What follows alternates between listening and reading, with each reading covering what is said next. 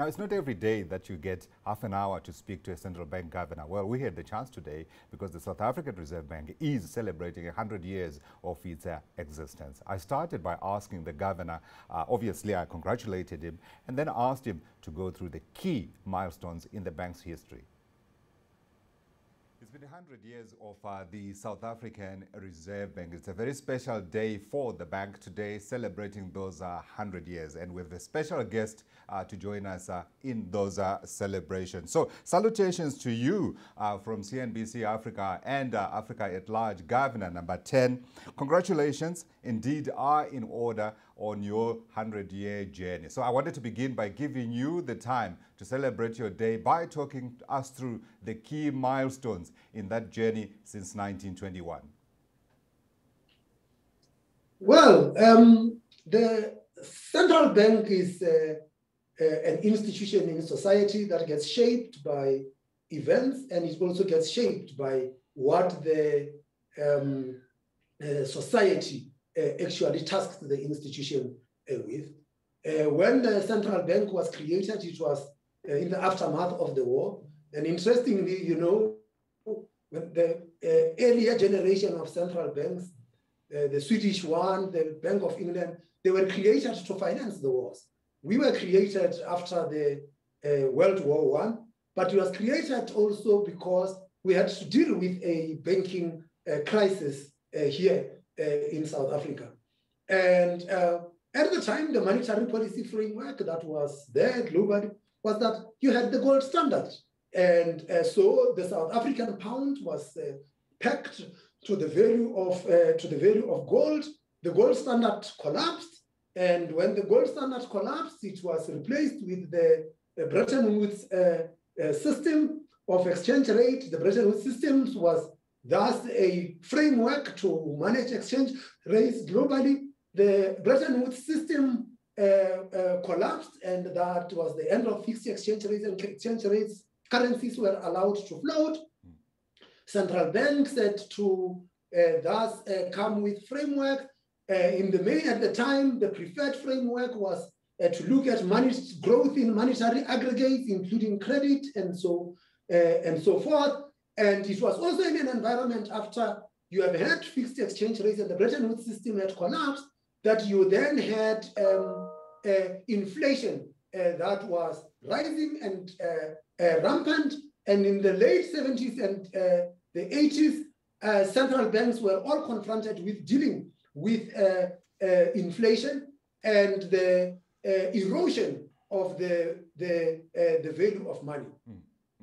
And uh, what you then had after those big fighting, inflation fighting credentials of central banks, in the case of the Fed under uh, Paul Volcker, um, uh, and the inflation fighting credentials of institutions such as the Deutsche Bundesbank, mm.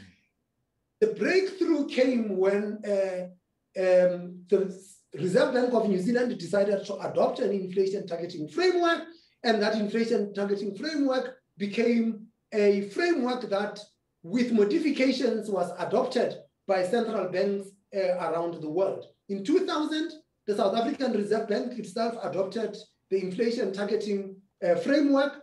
And uh, when that happened, we were the 13th central bank to adopt the inflation uh, uh, targeting uh, framework. there have been modifications to that inflation targeting framework. Mm. we used to have what was called an escape clause that when there is a shock uh, we could um, uh, uh, invoke this loss and then allow the economy to go through the shock and then reinstate, come back, bring the inflation back into the target range and so forth. That was replaced with an explanation clause which said that we must constantly explain why inflation is deviating from uh, a target and also if it is within target, whether there is a likelihood that it might deviate from uh, deviate from uh, target. It is a framework that we have now been applying. That framework is this year, 21 years.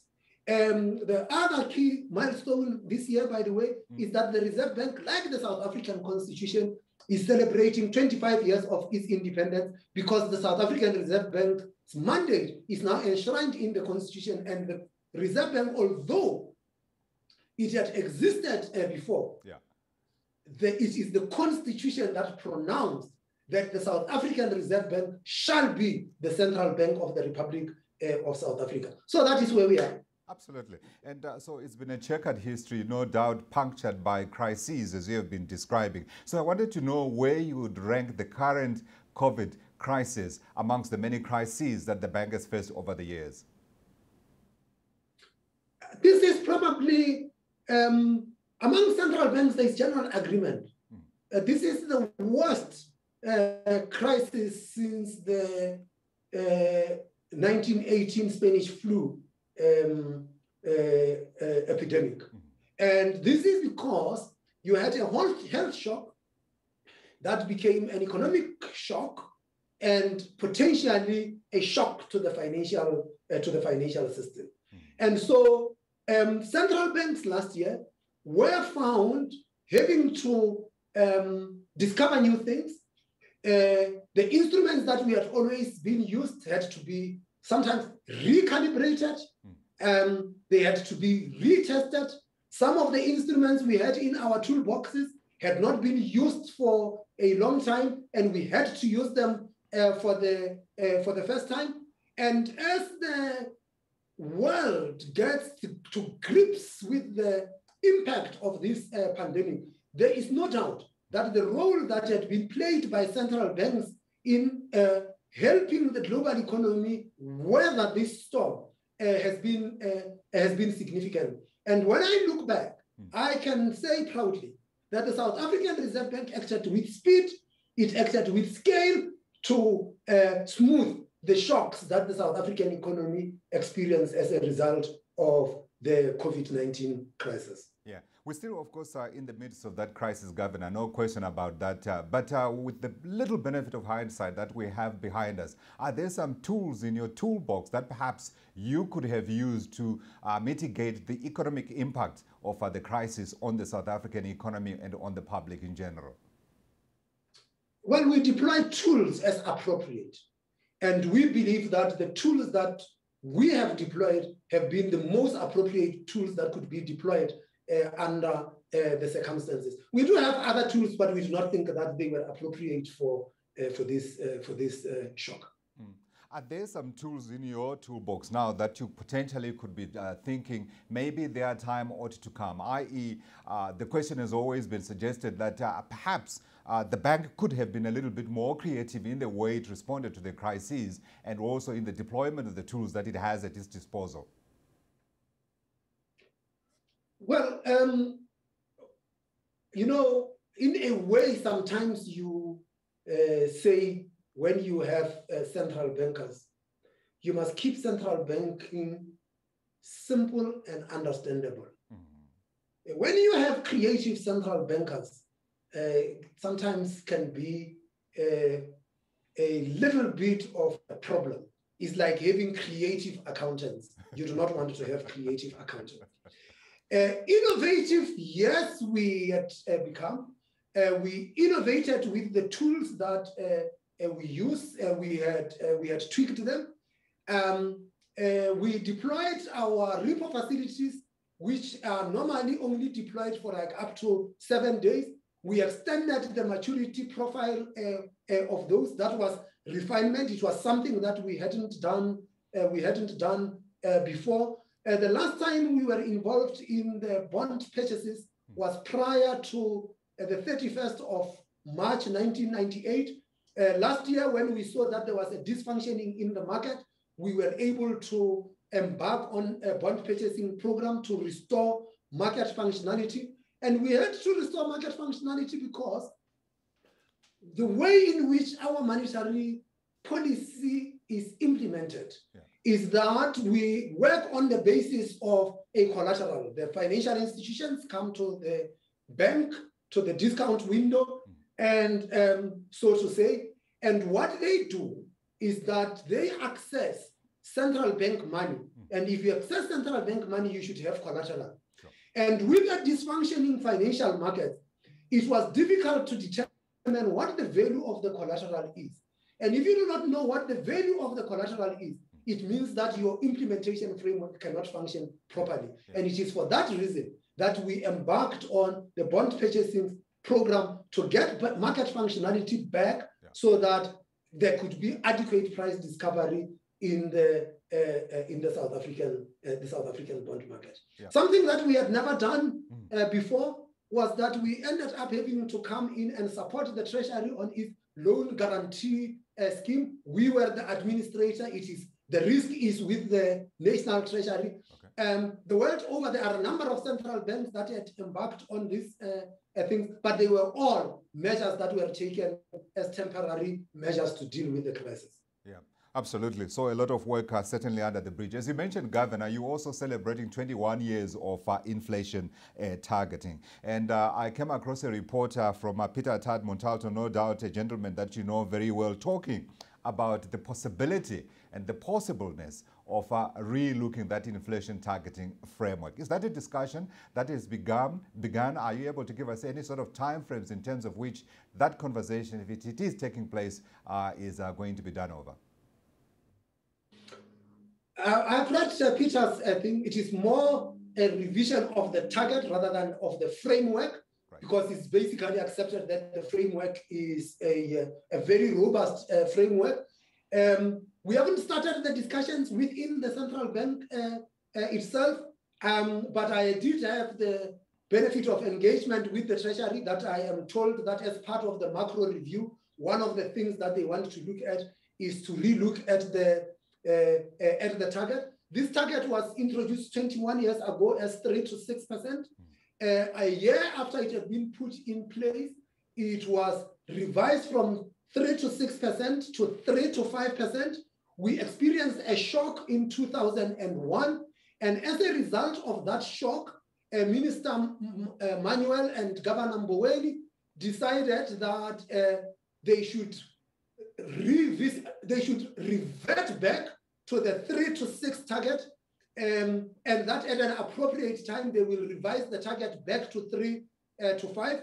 If you are to ask me what the policy mistake of the time was, yeah. that was the policy mistake. I think the correct thing to do should have been to keep the target the same and then say it will take us longer to achieve the target rather than changing uh, the target. Because what it did the changing of the target, mm. was that it then got the people to think that every time there is a shock, mm. you will just press the escape clause and revise the target, yeah. uh, the target uh, higher.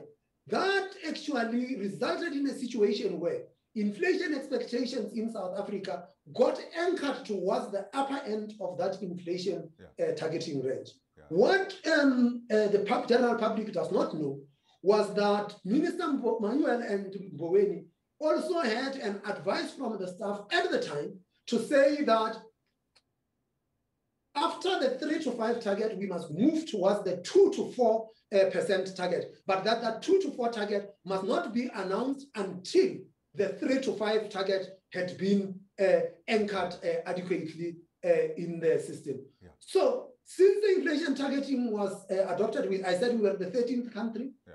Other central banks did adopt their inflation targets. Many of them did revise their targets. Most of them, with the exception of very few, yeah. most of them revised their targets lower. And if there is to be a revision of the targets in our inflation targeting framework, this can only be lower, not higher. Yeah. Uh, Governor, I wonder if I can uh, speak to you in confidence, and I laugh at that, of course, even as I make the suggestion, uh, to ask for your personal thoughts if you were to be asked in which direction uh, the uh, next target could well be. I said to you that the, if the target has to be revised, it can't be revised higher. It can only be revised lower. And the reason it can only be revised lower is one, globally, inflation structurally had moved lower.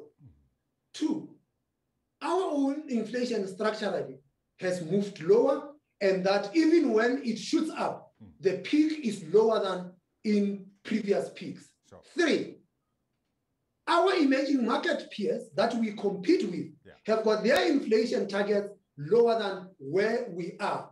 And with that, for us to remain competitive, we have got to bring our inflation target closer to where those other emerging market uh, central banks are. Yeah. And that is lower, not higher. Yeah. Another day when we have more time, Governor, uh, I would love to uh, engage you on the issue of uh, whether uh, moving lower is appropriate. You know, the usual argument about whether, you know, that kind of inflation target is appropriate for an emerging market economy and a growing economy. But let's park it today. Today, I want to focus on another thing. One of the big debates around uh, uh, inflation targeting uh, has been around the mandate of the bank. Uh, some people suggesting that it's better to widen it along the lines of the US Federal Reserve. You have come out in opposition to that.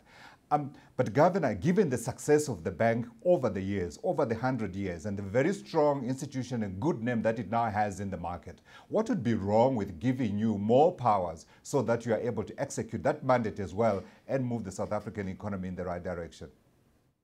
Un- underline that you said more powers. Uh, and, uh, and, and I wish one would have more powers. Let me uh, be this way. People refer to the U.S. Fed, yes. and you know what? The U.S. Fed has this thing. People call it a dual mandate. It's actually not a dual mandate. The, the, the, the Federal Reserve Bank law says that uh, they must have uh, full employment, low inflation, and low long-term bond yields. Uh, nobody talks about the low long-term bond yields, but the low long-term bond yields in a way are, in, is, embed, uh, is, are embedded in the um, uh, inflation uh, figure itself. I think institutions are created for a purpose. And if they succeed in their purpose, they must be allowed to continue to succeed in that purpose. If you load them with a lot more objectives and they do not have the tools to do, to do so, you will set them up to fail. Now, we have been given an additional mandate of financial stability. Yes. And we were given the mandate of financial stability because we were already supervising the banks and now we are also supervising the insurance. And so we have got the regulatory tools to pursue financial stability. We have got the regulatory tools to prudentially regulate banks and regulate financial market infrastructures and regulate the insurers.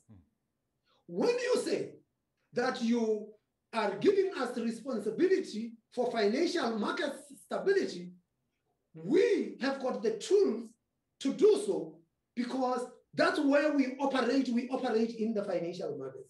Sure. And when the financial legislation is changed, the Reserve Bank has a say in the changing of the financial markets legislation. Right. If you want to give us, for example, an employment mandate and an employment target, would you give us a say over labor markets? That when you change the labor laws, you will ask us that what do we have to say about the labor laws because they play a role in uh, uh, in that space yeah. and whether you think that our un- unemployment problem is a cyclical problem or a structural a structural problem and i can say to you even when this economy was booming and growing by five and a half percent we only managed to bring down unemployment to around 23%. Yeah. That tells you that there are fundamental structural faults in this economy that, unless addressed, we will not be able to crack the unemployment, uh, unemployment problem. So taking that responsibility and placing it with a central bank is not going to uh, uh, is not going to crack it. That as it may, the Constitution has given us a price stability mandate. Which is in the interest of balanced and sustainable growth. Understand that a central bank does have an influence on growth, yeah. but it is only growth, what we call cyclical growth, which is really short term growth, growth over 12, 18 to 24 months, but nothing on structural growth. A central bank now as the economies are growing and are espousing the fourth industrial revolution, for example, yeah. we will not be able to produce the engineers, the scientists, and all of those for us to take advantage of the fourth industrial revolution. The education system must have those outcomes yeah. on the education front to be able to take advantage of that space. And that will be our reluctance yeah. in uh, putting so much uh, with a central bank. And given that we have to act independently.